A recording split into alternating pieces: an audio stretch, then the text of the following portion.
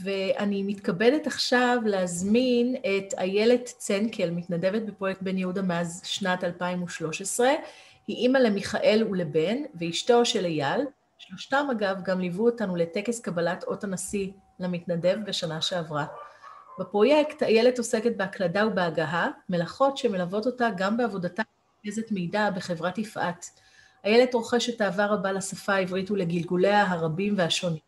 איילת, בבקשה. אז אה, שמי איילת צנקל, אני מתנדבת בפרויקט מאז שנת 2013 בהקלדות ובהגאות. הטקסט שבחרתי לדבר עליו הוא אחת מדוגמאות רבות של טקסטים שנפגשתי עמם ובתקווה עוד אפגש במהלך ההתנדבות בפרויקט בן יהודה.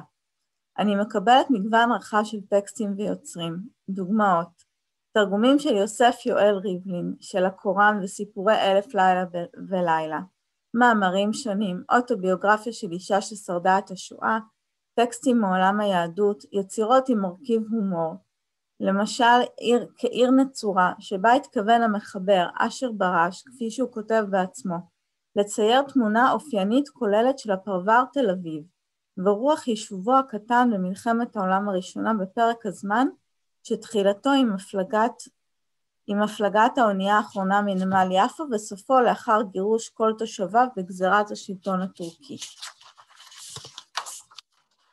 אני רוצה לשתף אתכם בדוגמה של טקסט שאני בדיוק עובדת עליו עכשיו שנגע בליבי. מתוך הספר "אני אוהב להריח" מאת שולמית הר אבן, שזה אוסף שירי ילדים. ההתחלה של השיר הראשון של שמו, על שמו הספר הוא כך: אני אוהב להריח.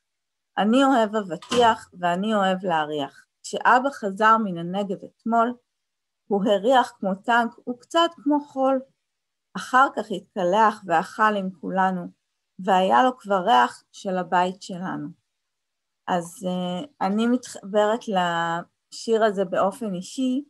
שני הבתים האלה נותנים לי מושג לגבי התחושה שאני מאמינה שהיה לשני אחיי הגדולים, כאשר אבא שלי, בנימין שפי, זיכרונו לברכה, שבתקופתם היה קצין לוחם בצבא ואיש קבע, חזר הביתה מהשירות השוטף בכלל וממלחמות בפרט.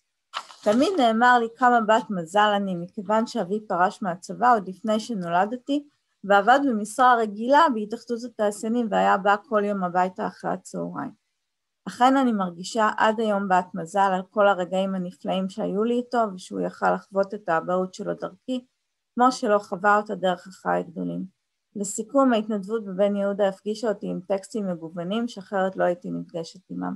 אני רוצה גם לאחל עכשיו לפרויקט המון מזל טוב ל-20 שנה שאנחנו חוגגים באירוע הזה, ותודה רבה, אני מאוד נהנית להתנדב בפרויקט הזה. תודה.